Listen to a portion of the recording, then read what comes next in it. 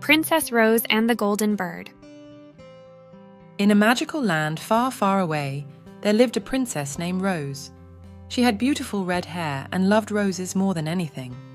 Every night, she would sing on her balcony, and a shiny golden bird would come to sit on her shoulder, singing along. Their music was so sweet and soothing that everyone in the kingdom fell into a gentle, peaceful sleep. Yet, there came a day when a witch, seething with jealousy at the sound of Princess Rose's melodious voice, conjured a curse that darkened Rose's crimson hair tonight. As she sang beneath the moonlit sky that evening, her once soothing melodies now summoned nightmares, casting a shadow of sorrow and fear over the entire kingdom. The golden bird had a clever idea and told Princess Rose to wash her hair with water from the prettiest roses. She did just that, and like magic, her hair turned red again.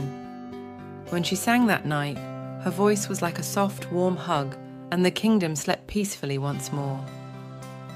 The witch tried to spoil things again and again, but each time, Princess Rose and the Golden Bird found a way to bring back the harmony. But then, the witch played her meanest trick yet. She made all the roses in the kingdom disappear.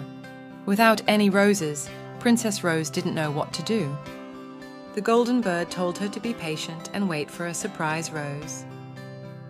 Time went by, and then on a bright sunny day, a prince from a faraway land arrived. He had heard of Princess Rose's troubles and brought her the most beautiful rose she had ever seen. With this special rose, Princess Rose washed her hair, and it shimmered red once again.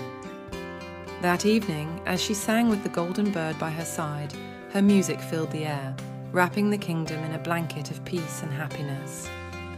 And from that day on, love and harmony blossomed in the kingdom, just like the roses that grew back even more beautiful than before.